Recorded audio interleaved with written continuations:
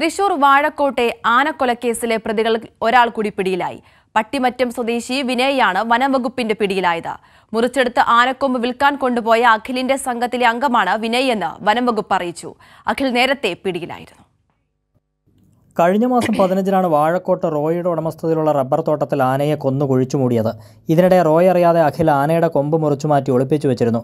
പിറ്റേ ദിവസം അഖിലിനൊപ്പം എത്തിയ വിനയനാണ് മുറിച്ചു മാറ്റിയ കൊമ്പ് കാറിൽ കയറ്റിക്കൊണ്ടുപോയി വിൽക്കാൻ ശ്രമിച്ചതെന്ന് വനംവകുപ്പ് അന്വേഷണത്തിൽ കണ്ടെത്തിയിരുന്നു.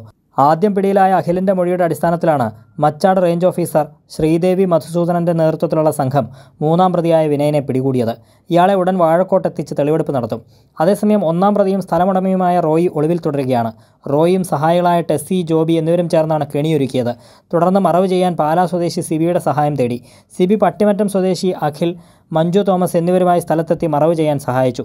ആനയുടെ കൊമ്പെടുത്തതും കടത്തിയതും അഖിലിന്റെ നേതൃത്വത്തിലായിരുന്നുവെന്നും വനംവകുപ്പ് അന്വേഷണത്തിൽ വ്യക്തമായിരുന്നു. പട്ടിമറ്റത്തു നിന്നും കൊമ്പുമായി അഖിൽ പിടിയിലായതോടെയാണ് ആനക്കൊലയെക്കുറിച്ചുള്ള വിവരങ്ങൾ വനംവകുപ്പിന് ലഭിച്ചത്. കൈരളി ന്യൂസ് കൊച്ചി.